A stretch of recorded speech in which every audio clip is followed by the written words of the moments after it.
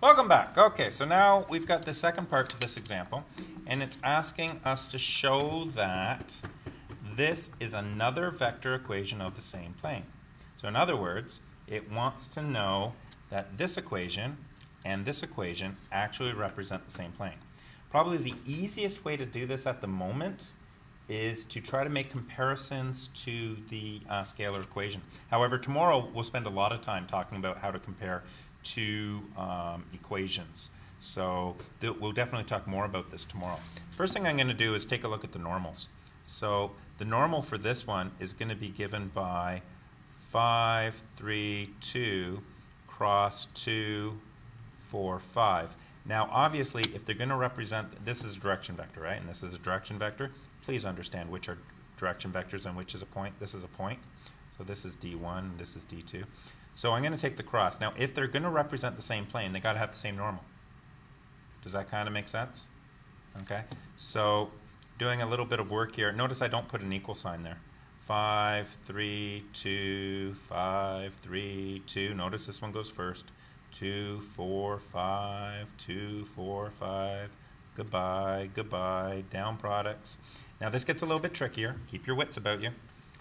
15, subtract 8. That's 7. 4, subtract 25.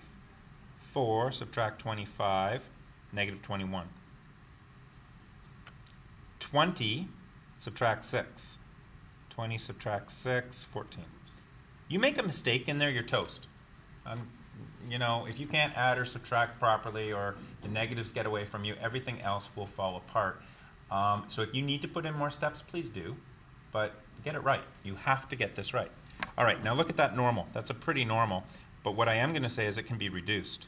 And I can divide everything by 7 to get 1, negative 3, 2, which looking up, notice the normals are identical. So therefore, normal 1 equals a scalar multiple of normal 2. That scalar multiple could be 1. They could be identical. But what I'm saying is that they have the same normals.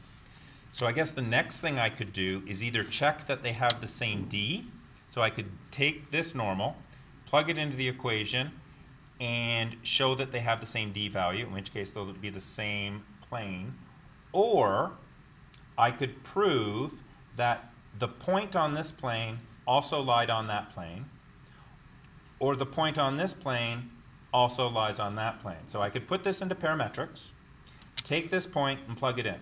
That's a lot of work. I have to admit.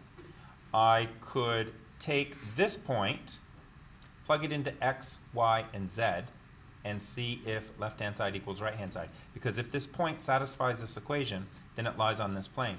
That's pretty easy. I like that. That would be negative 1 plus 6 plus 2. So it was negative 1 plus 6 is negative 5. What was this one?